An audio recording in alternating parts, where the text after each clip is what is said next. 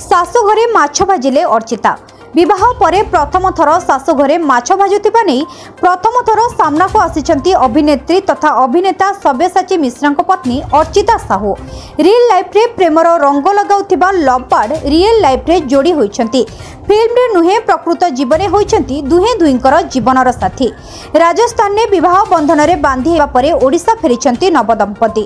ଆଉ ଓଡ଼ିଶା ଫେରୁ ଫେରୁ ଶାଶୁଘର ହାଣ୍ଡିଶାଳରେ ଏବେ ନଜର ଆସିଛନ୍ତି ଅଭିନେତ୍ରୀ ଅର୍ଚ୍ଚିତା। ମାଛ ଭାଜୁଥିବା ବେଳେ ପାଖରେ ରହିଛନ୍ତି ତାଙ୍କ ସ୍ୱାମୀ ସବ୍ୟସାଚୀ ଏବଂ ଶାଶୁଘର ଲୋକ। ଶାଶୁଘରେ ମାଛ ଭାଜିଲେ ଅର୍ଚ୍ଚିତା। ବିବାହ ପରେ ପ୍ରଥମ ଥର ଶାଶୁଘରେ ମାଛ ଭାଜୁଥିବା ନେଇ ପ୍ରଥମ ଥର ସାମ୍ନାକୁ ଆସିଛନ୍ତି ଅଭିନେତ୍ରୀ ତଥା ଅଭିନେତା ସବ୍ୟସାଚୀ ମିଶ୍ରାଙ୍କ ପତ୍ନୀ ଅର୍ଚ୍ଚିତା ସାହୁ। ରିଏଲ୍ ଲାଇଫ୍ରେ ପ୍ରେମର ରଙ୍ଗ ଲଗାଉଥିବା ଲଭ୍ ବାର୍ଡ ରିଏଲ୍ ଲାଇଫ୍ରେ ଯୋଡ଼ି ହୋଇଛନ୍ତି। ଫିଲ୍ମରେ ନୁହେଁ ପ୍ରକୃତ ଜୀବନରେ ହୋଇଛନ୍ତି ଦୁହେଁ ଦୁହିଁଙ୍କର ଜୀବନର ସାଥୀ। ରାଜସ୍ଥାନରେ ବିବାହ ବନ୍ଧନରେ ବାନ୍ଧି ହେବା ପରେ ଓଡ଼ିଶା ଫେରିଛନ୍ତି ନବଦମ୍ପତି। ଆଉ ଓଡ଼ିଶା ଫେରୁ ଫେରୁ ଶାଶୁଘର ହାଣ୍ଡିଶାଳରେ ଏବେ ନଜର ଆସିଛନ୍ତି ଅଭିନେତ୍ରୀ ଅର୍ଚ୍ଚିତା। ମାଛ ଭାଜୁଥିବା ବେଳେ ପାଖରେ ରହିଛନ୍ତି ତାଙ୍କ ସ୍ୱାମୀ ସବ୍ୟସାଚୀ ଏବଂ ଶାଶୁଘର ଲୋକ।